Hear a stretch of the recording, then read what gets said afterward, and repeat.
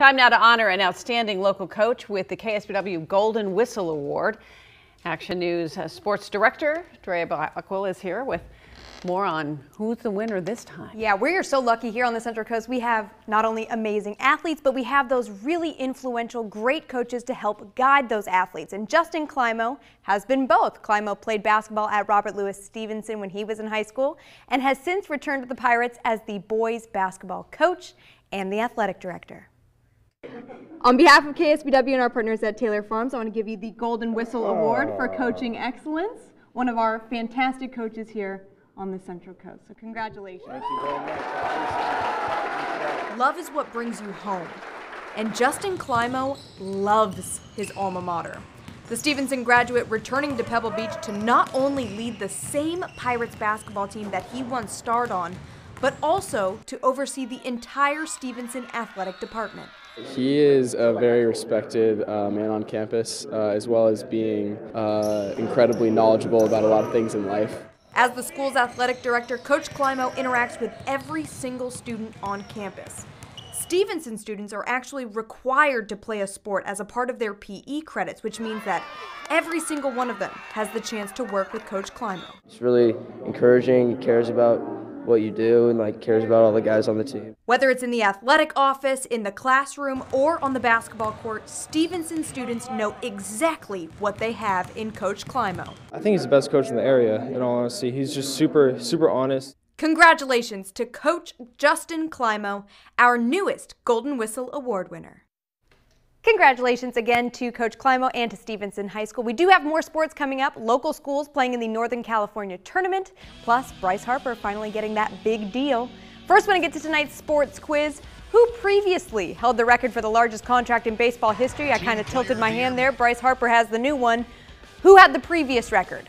We'll have the answer in more sports in about 20 minutes.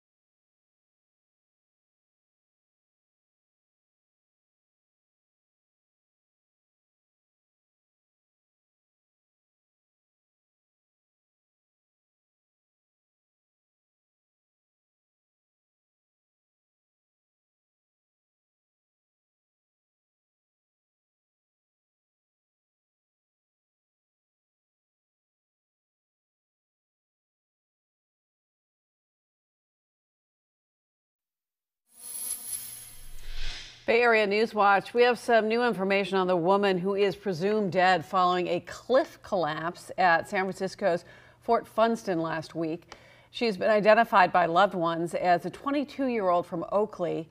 Kira Sunshine Scarlett was walking on the beach Friday afternoon with her friend and a dog when a portion of the cliff gave way. Scarlett's friend and her dog were rescued, but Scarlett has yet to be found. In the Sierra, there is a lot of snow. So it probably doesn't come as a surprise that the snowpack is above average for this month. But just how far above normal are we? Action News reporter Vicki Gonzalez has more on the latest snow survey. In the El Dorado County town of Phillips, this month's manual snow survey comes with more obstacles. Carving out steps, just the beginning. More sweat equity for a snowshoe cross country trek. with the wet snow on. It's kind of compacted a bit, made easy gliding. Measuring the snow depth Okay, and water content when the snowpack melts. This location among more than 100 manual and electronic snow surveys statewide. The measuring rod, 12 and a half feet, 80.5 72 inch core. piercing the snowpack to touch ground. That number is inches, and looks can be deceiving. With an average snow depth at this location at 113 inches, that means I'm standing on roughly just shy of nine and a half feet of snow. But what's more important for the drier months? Water content. If we melted all the snow in the field here, we'd get 43.5 inches of water. But higher up, for neighboring Sierra at Tahoe Resort, February is a record. Our previous February snowfall record was 154 inches, and we are just about at 250 today. So that's five inches short of our all time snowiest month record. It's The current snapshot promising, but subject to change.